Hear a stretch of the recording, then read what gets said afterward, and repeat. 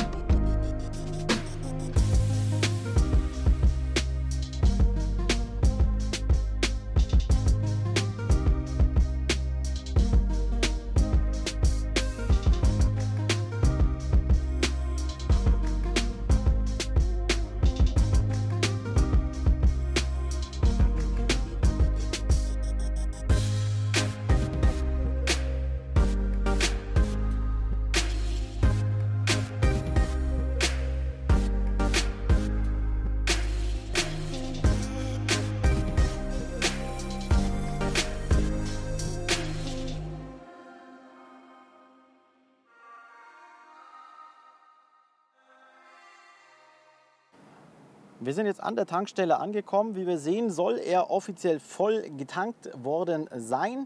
Nichtsdestotrotz setzen wir erst einmal schon das Ganze hier auf Null. Beim Bordcomputer setzen wir ebenfalls Langzeit auf Null und sicherheitshalber auch ab Tanken setzt er sich so oder so gleich Null. Ab Start machen wir jetzt auch auf Null. So, damit ihr auch den Kilometerstand seht, 2993 ist unser Abfahrtkilometerstand und jetzt geht es raus zum Tanken. Heute die Besonderheit, Erdgas wird getankt. Erdgas tanken an sich ist auch keine Problematik. Wir haben hier ein Benzin- und einen Erdgastank. Wir haben 13,8 Kilo Erdgastank. Das sind drei Tanks, die hier verbaut sind im Boden. Deswegen ist der Kofferraum etwas kleiner. Laut Norm sind es 283 Liter. Das ist gegenüber den 400 Liter Standardvolumen, die wir hier sonst haben beim Kamiq, etwas verkleinert. Ist aber auch einzig und allein dadurch spürbar, dass lediglich der ähm, Unterflur Fach, das Unterflurfach nicht nutzbar ist. Aber nichtsdestotrotz, jetzt gehen wir hier tanken. Einmal ran mit dem Hebel hier. Schauen wir mal, ob alles auch wirklich korrekt getankt wurde. Ja. Drauf, zu, dann ist der äh, verriegelt und Starttaste. Jetzt gucken wir mal, wie viel da reingeht.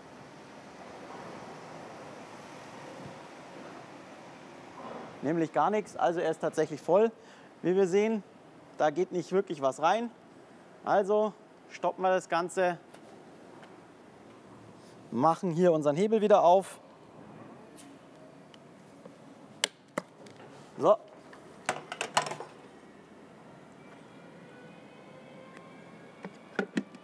Ich gehe kurz zahlen und dann geht's los, fahren wir auf unsere Tour.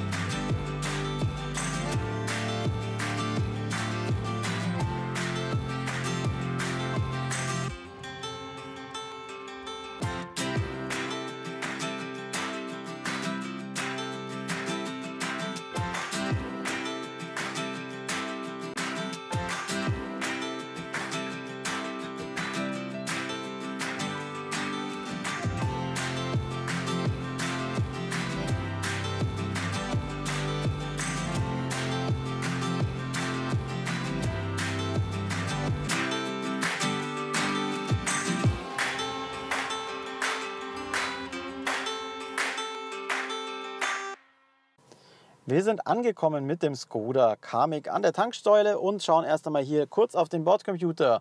220 Kilometer Reichweite mit CNG, 110 mit Benzin. Der Langzeitverbrauch, den wir genullt haben, der steht bei 4,5 Kilo auf 100 Kilometern. 3097 ist unser Kilometerstand und jetzt geht es raus ans Tanken.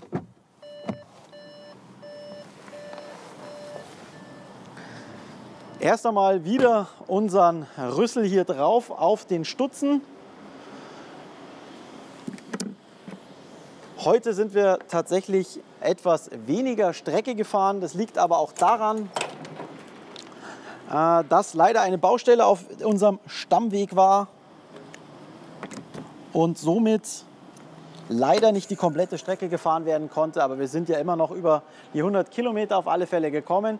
Vom Mix bleiben wir übrigens weiterhin so bestehen, wie wir das auch auf unserer Stammstrecke haben. Aber ihr habt euch die Strecke ja jetzt auch schon angeschaut, wie wir gefahren sind heute. Das ist vom Mix immer noch genau das Gleiche. Wir lassen jetzt mal unseren Tankvorgang hier nochmal beenden, schauen, was reingeht. Und dann gibt es noch das abschließende Fazit, was wir denn ausgerechnet haben für unsere Tankungen.